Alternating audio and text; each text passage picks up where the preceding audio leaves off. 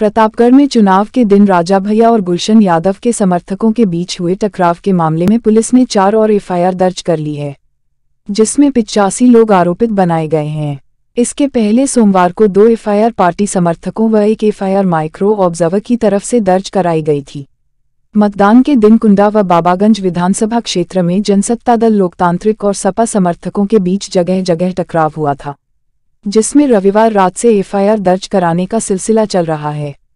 इसी क्रम में गुलशन यादव ने तहरीर देकर शिकायत की थी कि पहाड़पुर बूथ पर जाते समय राजा भैया समर्थक व ग्राम प्रधान पुष्पेंद्र सिंह ने शुभम सिंह, पुष्पराज सिंह, सोनू उर्फ़ सुनील सिंह, शंभू सिंह, प्रशांत सिंह, विक्की सिंह, सुमित सिंह, सौरभ सिंह, दिनेश सिंह व दस अज्ञात ने जानलेवा हमला कर गाड़ियों में भी तोड़फोड़ की थी।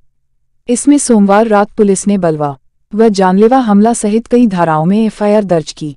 इसी तरह पहाड़पुर बनोही के पूर्व प्रधान विनोद यादव ने पुलिस को तहरीर देकर बताया कि चुनावी रंजिश में उनके क्लिनिक के बाहर खड़ी कार में तोड़फोड़ की गई। उन्होंने छह नामजद लोगों के खिलाफ तहरीर दी, लेकिन आरोप है कि पुलिस ने छह अज्ञात के खिलाफ एफआईआर दर्ज की।